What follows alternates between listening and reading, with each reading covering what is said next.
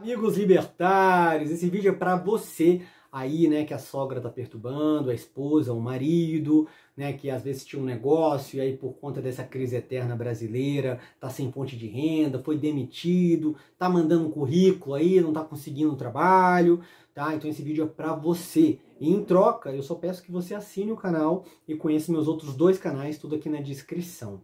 Vamos lá, o primeiro ponto, gente, para você conseguir arrumar né, um emprego de forma rápida. O primeiro ponto é você pensar, tá bom, com a cabeça de um empresário.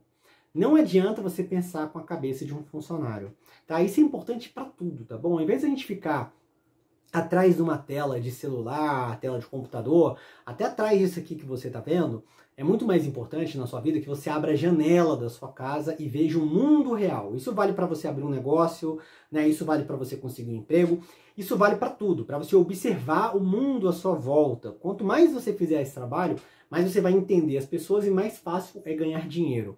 Então, quando você pensa com a cabeça de um empresário, ao invés de pensar com a cabeça de um funcionário, né, vai girar uma chave na sua mente e vai ficar muito mais fácil de você conseguir emprego. Né? E quem sou eu né, para estar tá aqui fazendo esse vídeo. Eu sou uma pessoa que já contratou aí centenas de pessoas e já treinou centenas de pessoas. Eu sou um empresário. Então eu tenho essa cabeça de empresário e eu vou compartilhar aqui com você como que eu penso na hora de contratar alguém, tá bom? O primeiro ponto, né, que a gente analisa na hora de contratar alguém é se essa pessoa é uma pessoa confiável, tá bom? Esse é o primeiro ponto, se é uma pessoa profissional e confiável se não é uma pessoa que vai me dar dor de cabeça, se não é uma pessoa que vai atrapalhar né, a minha equipe, ou seja, uma pessoa que tenha controle emocional, né, uma pessoa que seja, né, que tenha bom senso, ou seja, uma pessoa né, que eu consigo colocar dentro da minha empresa e não vai me dar dor de cabeça, tá bom? Que vai ficar trabalhando comigo durante muito tempo, todo empresário busca isso, e essa pessoa não vai, né, tentar me roubar, não vai tentar me passar a perna. Então esse é o ponto principal, tá bom? Segundo ponto. segundo ponto, teoricamente, é uma pessoa né, que consiga resolver o meu problema. Mas eu, como empresário, e todos os empresários, a gente sabe que uma pessoa que resolve né, o nosso problema, uma pessoa com muita experiência, uma pessoa com um currículo vasto, é uma pessoa muito cara, tá bom? E somente 1% das empresas do Brasil tem capacidade financeira de bancar uma pessoa assim. Porque essas pessoas, né, a gente tem que pagar mais de 50% do salário são impostos, chamado passivo trabalhista. Então no Brasil você não consegue pagar né, um bom salário, porque fica caro demais. Somente grandes empresas né, que faturam muito alto conseguem fazer isso. As outras empresas, 99% das outras empresas, não conseguem pagar esse grande salário. A única forma, a gente tem algumas alternativas, como é o caso de comissão, né, que é uma forma de você estar tá ganhando mais dinheiro. A gente tem vídeo aqui falando sobre isso no canal. Mas né? Então a gente busca alguém, tá bom? É, essa pessoa aí com currículo muito grande, com muita experiência, vai ficar muito difícil, né? Vai ter que procurar uma grande empresa. E a gente busca uma pessoa mais crua, que é uma pessoa que a gente pode estar ensinando a metodologia de vendas, a metodologia de marketing que a gente usa na nossa própria empresa.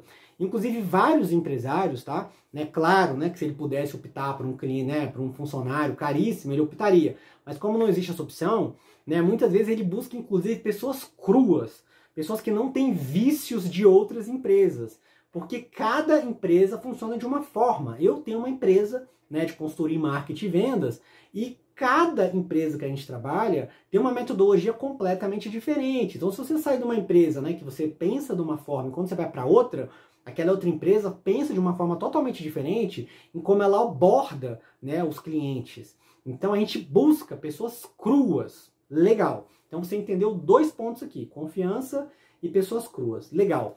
Agora, o que que junta tudo isso, tá bom? O que que junta tudo isso para poder você conseguir um emprego rápido? Relacionamento, tá bom? Relacionamento. Existem dados para isso. Os dados dizem que mais de 60%, quase 70% das pessoas que são empregadas, elas são empregadas por indicação, né, de algum amigo, indicação de algum parente. Você já deve ter percebido que tem várias empresas né, familiares, ou seja, você vê que você é um funcionário muito superior do que o filho do dono, do que o sobrinho do dono, do que o irmão do dono, mas né, por que, que o filho do dono, sobrinho, está dentro do negócio? Está lá por conta da confiança. Né? Porque na cabeça do dono, né, pode ser que aconteça, mas na cabeça do dono, aquela pessoa não vai passar a perna nele, né? Ele pode confiar naquela pessoa e deixar o negócio na mão daquela pessoa por muito tempo sem ter dor de cabeça. Então, se você é uma pessoa confiável, né, uma pessoa disposta a aprender, né, e você conhece alguém dentro do negócio, a chance de você ser contratado é muito grande, mesmo que você não tenha currículo e que você não tenha experiência para trabalhar dentro daquele negócio. Então, olha só como é importante né, você ter uma rede de relacionamento. Então, o que, que você vai fazer agora? Tá? Porque eu gosto de coisas práticas, odeio teoria, tá bom? O que, que você vai fazer agora? Você vai simplesmente, né? Vamos colocar que você é uma pessoa mais sofisticada, tem um currículo mais legal. Você pode entrar no LinkedIn agora, nesse exato momento, tá bom? E colocar lá, sei lá, o, o cargo que você gostaria. Não, vamos colocar assim. Vamos colocar né, que quem vai te contratar, o gestor que vai te contratar é um gerente comercial, ou então é um diretor de RH, ou um gerente de RH, alguma coisa assim. Você vai pegar no LinkedIn e vai escrever lá o cargo. Você vai colocar gerente de RH, ou então diretor de RH, tá bom? E aí vai aparecer vários nomes, várias pessoas. E o LinkedIn automaticamente ele vai mostrar, tá bom? As pessoas que estão mais conectadas a você. Os primeiros resultados são pessoas que são suas amigas, que você conhece, ou então pessoas que são amigas dos seus amigos.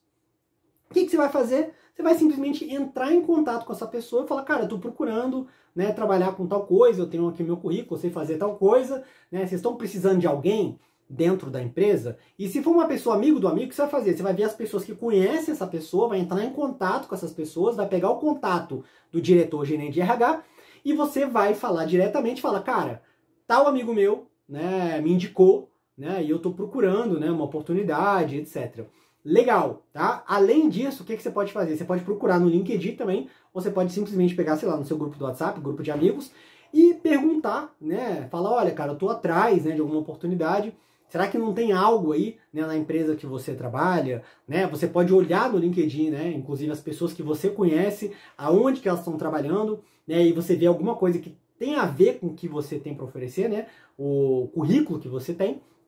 E aí você vai simplesmente né? Falar assim, olha, cara, você tem uma empresa de TI, eu sou programador, será que não tem uma vaga aí disponível? E aí eu te garanto, te garanto que vai ser muito mais fácil de você conseguir um emprego do que você, né, ficar distribuindo currículo e etc.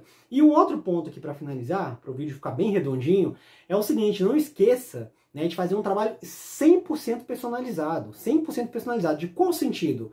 Ao invés de você pegar e mandar né, falar com um bando de gente, né? Todo mundo que você for conversar, faz um estudo daquela empresa, entenda como é que aquela, aquela empresa funciona, entra no site, entra nas redes sociais, né, ver quais produtos elas oferecem. Né? Eu, como empresário, não existe coisa mais horrível e patética do que aparecer um cara procurando emprego no seu negócio e a pessoa não sabe nada do seu negócio, não tem informação, não te conhece. Ou seja, né, isso serve tanto para conseguir emprego quanto para você captar cliente, né? Ou seja, quando a gente conversa com alguém, que ele vê que a gente teve um trabalho de pesquisar o negócio dele, que a gente entendeu o negócio dele, né? A gente trata a pessoa com muito mais carinho, aumenta a nossa chance né, de trabalhar ou captar aquele cliente muito, muito, muito, muito. Então, tudo que você for fazer na sua vida tem que ser de forma artesanal, de forma personalizada. Esquece essa história de escalável, automatizado, esquece isso.